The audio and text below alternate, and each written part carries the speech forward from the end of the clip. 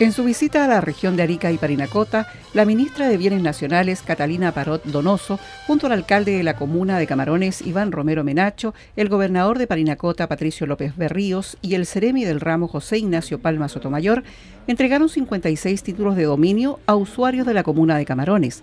La ceremonia se llevó a efecto en la plaza del poblado de Cotpa de dicha comuna. En la actividad estuvieron presentes autoridades, invitados especiales y familiares de los nuevos propietarios.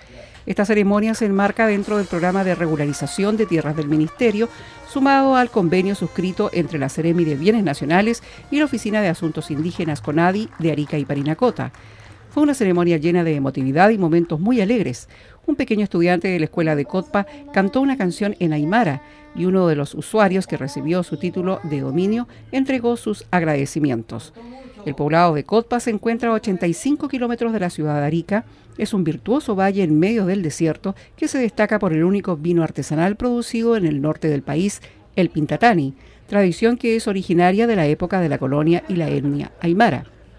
La visita de la ministra Catalina Barot Donoso trajo una gran alegría a todos los pobladores de esta localidad, en especial a quienes recibieron su título de dominio.